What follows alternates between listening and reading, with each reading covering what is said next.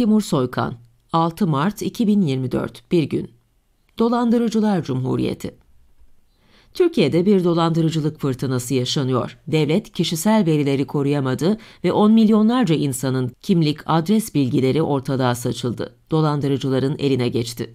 Memleket insanı sahipsiz ve yolunacak kaza dönüştürüldü. Adliyeler dolandırılan kişilerin suç duyurularıyla dolu ve savcılıklar şikayetlere yetişemiyor. Davaların açılması yıllar sürüyor. İstanbul 21. Ağır Ceza Mahkemesi'nde yargılaması başlayan çok çarpıcı bir örneğe mercek tutalım. İddianameden anlatıyorum. Abdullah Coşkun Çelebioğlu, 45 yaşında, bir dolandırıcılık holdingi kurdu. Farklı yöntemleri aynı çatı altında birleştirdi. O kadar rahattı ki İstanbul'da Güngören, Esenyurt, Bahçeli Evler ve Bakırköy'de dört ayrı çağrı merkezi açtı. Burada hafta içi her gün saat 9 ile 18 arasında, cumartesi günleri ise 9 ile 14 arasında mesai yapan dolandırıcılar dolandırdıkları kişi başına prim alıyordu. Sadece Güngören'deki bir numaralı çağrı merkezinde 30 dolandırıcı çalışıyordu. Yöntemler çok basitti. Birinci yöntem, kargo iade vurgunu. Daha önce kargo şirketlerinde çalışan çete üyesi Oktay Mert, Türkiye'nin büyük iki kargo şirketinin yakın dönemli kargo bilgilerine sızıyordu. İnternetten verdiği siparişi almayan ya da iade eden kişileri çete lideri Abdullah Coşkun Çelebioğlu'na iletiyordu. Böylece siparişi almayan kişilerin kimlik, telefon, adres ve daha önceki alışveriş bilgileri çetenin eline geçiyordu. Birinci aşama Abdullah Coşkun Çelebioğlu'nun bilgisayarında devasa bir veri havuzu oluşmuştu. Her gün veri havuzundan dolandırılmaya aday bin kişiyi seçip bir Excel listesi hazırlıyordu. Bu listedeki isimleri dört çağrı merkezinin yöneticilerine paylaştırıyordu.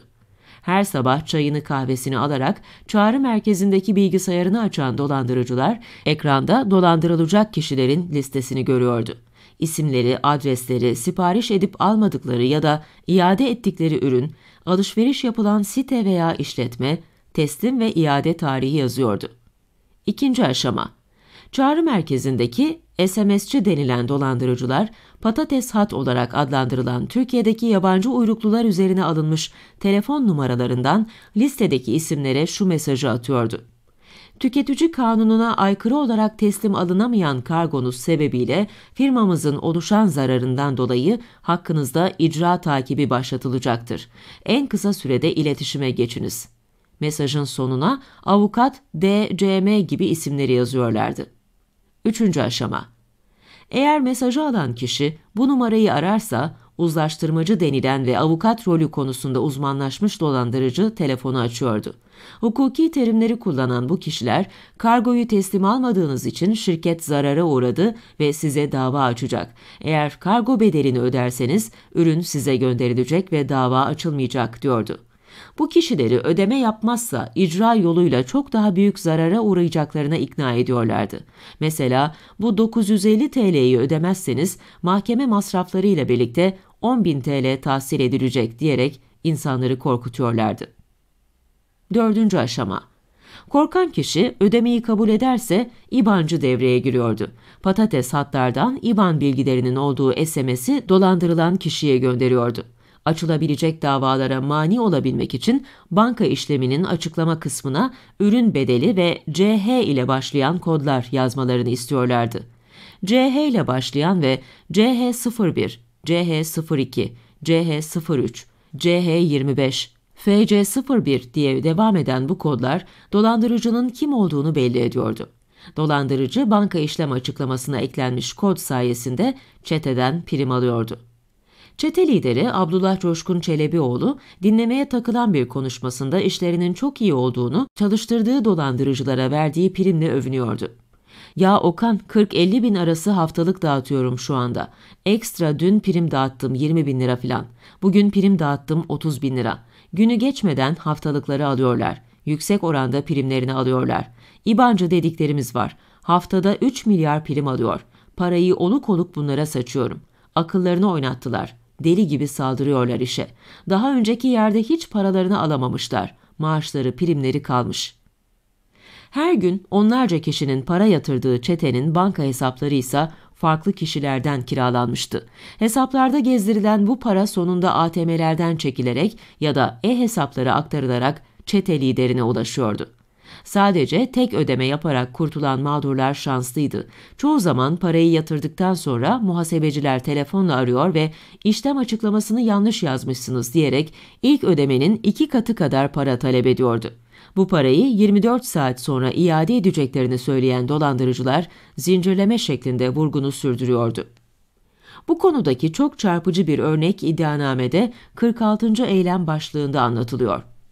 30 Nisan 2021'de Ahmet Öğün'ün telefonuna Tandoğan Ecza Deposu'ndan sipariş edip almadığınız ürünlerin kargo bedeli tarafımızca ödenmiştir.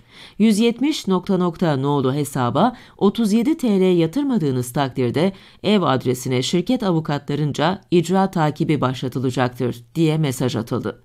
Ahmet Ö böyle bir sipariş vermediği için mesajı dikkate almadı. Ancak 5 gün sonra telefonunu avukat olduğunu söyleyen bir kişi aradı. Hakkında icra takibi başlatıldığını söyledi. Hukuki terimlerle çok inandırıcı konuşan bu kişi, icra takibinin kaldırılması için 9700 TL yatırmalısınız. 200 TL'yi masraf olarak alacağız ve 24 saat içinde 9500 TL hesabınıza iade edilecek dedi. Ahmet Ö, bu kişinin avukat olduğuna inanarak 4 Mayıs 2021 günü 9700 TL'yi kendisine verilen hesaba gönderdi. Ama 9500 TL iade olmadı. Telefon numarasını tekrar aradığında avukat rolünü oynayan dolandırıcı işlem açıklamasını yanlış yazmışsın. Haciz başlayacak. Süre geçti. 14.500 TL daha göndermen gerekiyor dedi. Ahmet Ö 14.500 TL daha gönderdi. Ertesi gün dolandırıcı telefonda 22.400 TL daha yatırmazsan gönderdiğin bütün para yanacak.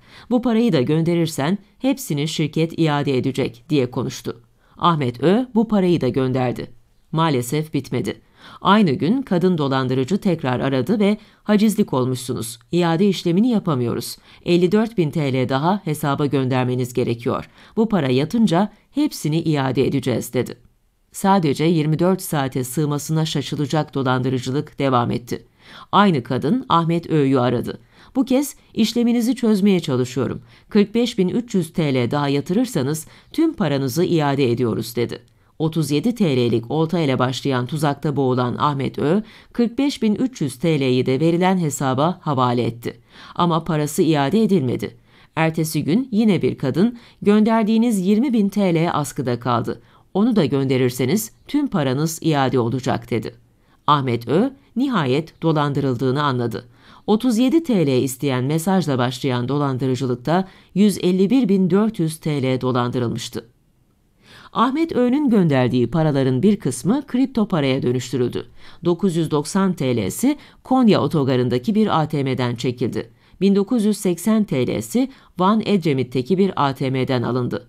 Dolandırıcılıkta kullanılan telefonsa Trabzon Akçaabat'tan bas sinyali veriyordu.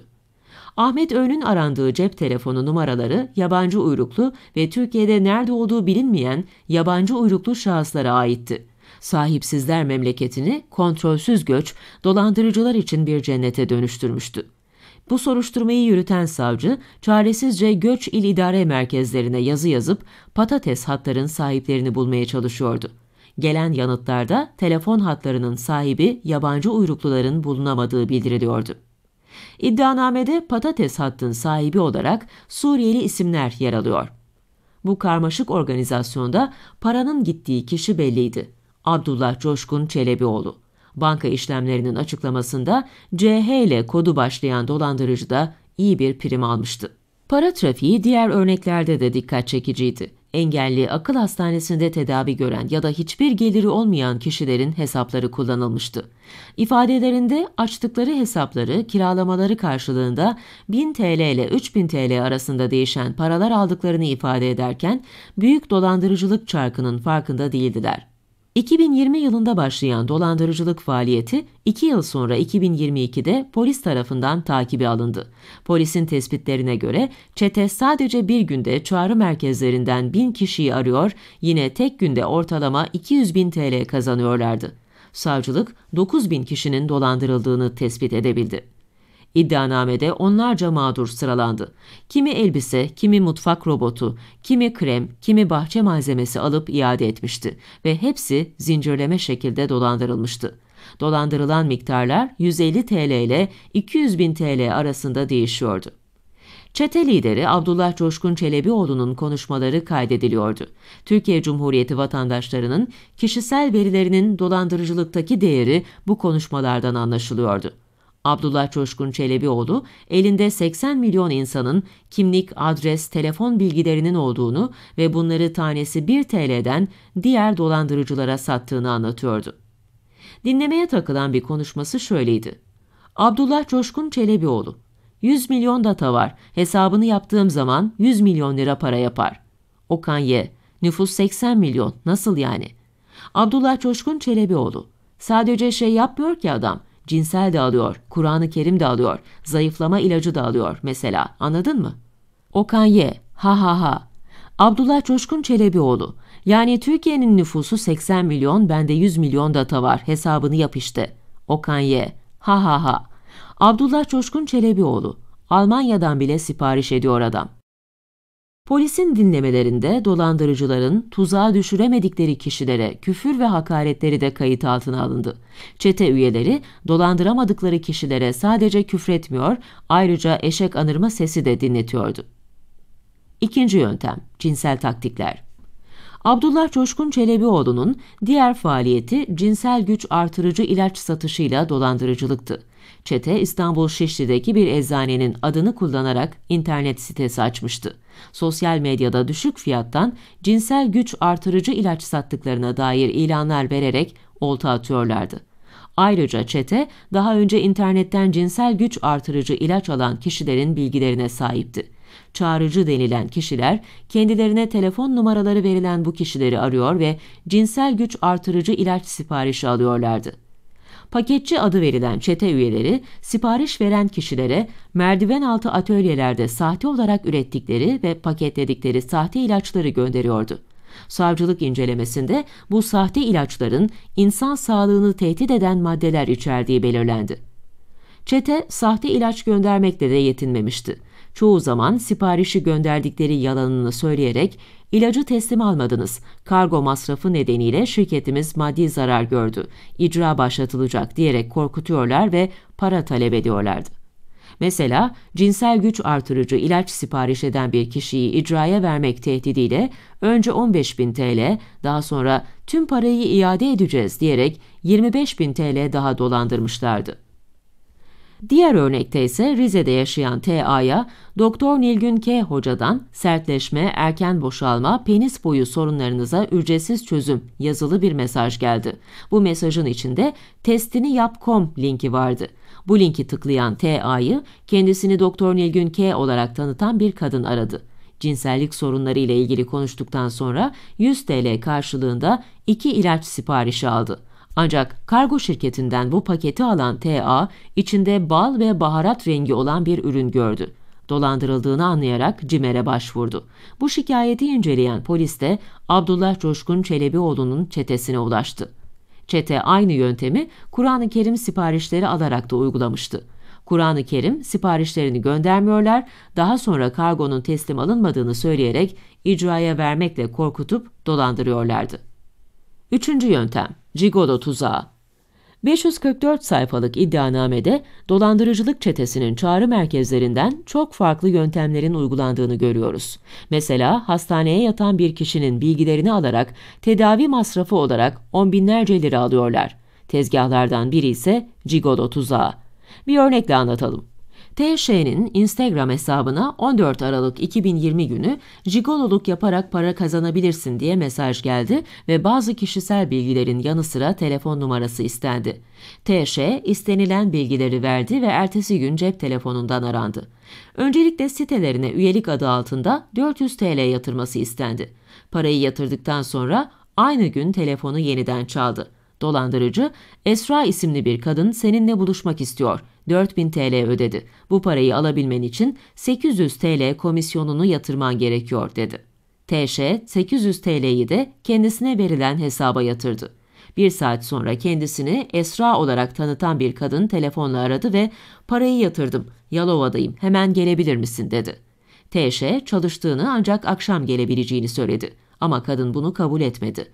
Ertesi gün dolandırıcılar yeniden TŞ'yi aradı ve Esra ikinci bir görüşme için 4000 TL daha yatırdı. Ancak bu parayı alabilmen için 1600 TL daha yatırman gerekiyor dedi. TŞ itiraz etse de daha önce yatırdığı parayı da alabilmesi için 1600 TL'yi yatırması gerektiği söylendi. Bu parayı da hesaba gönderdi ama bir saat sonra arayan dolandırıcı üyeliğinin devam etmesi için 2000 TL daha göndermesini istedi. Toplamda 6800 TL dolandırılan TŞ, internette Jigolo tuzağı hakkında araştırma yapınca dolandırıldığını anladı ve şikayetçi oldu. Soruşturmada çete tarafından TŞ gibi çok sayıda kişinin tuzağa düşürüldüğü tespit edildi. Dolandırıcının çiftliği Abdullah Coşkun Çelebioğlu'nun dolandırıcılık vurgununun küçük bir kısmı tespit edilebildi. Silivri'de büyük bir çiftlik almıştı. Buraya kızıl geyik, ala geyik, tavus kuşu, deve kuşu, yarış atları koymuştu. Eylül 2020'de yapılan operasyonda Abdullah Coşkun Çelebi'nin eşi, kardeşinin de arasında olduğu 31 kişi tutuklandı. Önceki gün başlayan davada kargo şirketleri, giyim mağazalarının da arasında olduğu Türkiye'nin dört bir yanından 331 müşteki yer aldı. Ancak şikayetçi olmayan mağdur sayısının çok daha fazla olduğu biliniyor. İddianamedeki şüpheli sayısı ise 82. Çete lideri ve yöneticileri tutuklu. Bu dava Türkiye'de yurttaşların sahipsizliğini, kişisel verilerin dolandırıcıların elinde satılık olduğunu ve dolandırıcılık fırtınasını gözler önüne seriyor. Timur Soykan